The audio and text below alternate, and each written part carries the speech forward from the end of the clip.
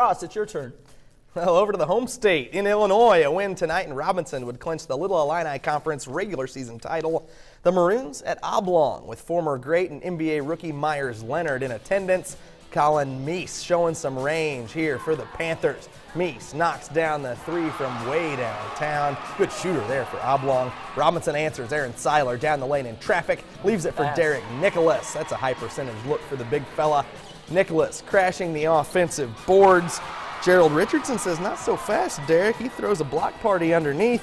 Nicholas would get the last laugh, though, in transition. He elevates and lays it in. That was a Conde, that'd be a dunk. No, not picking on you, Derek. Robinson knocks off Oblong 72 to 54. After the game, we hear from Meyers Leonard. I came up to Robinson. Uh, couldn't be more proud to be from there. Um, I follow this team very closely because Aaron Seiler is like a younger brother to me, and uh, you know I think they have a real chance to make a make a, uh, a run in this postseason.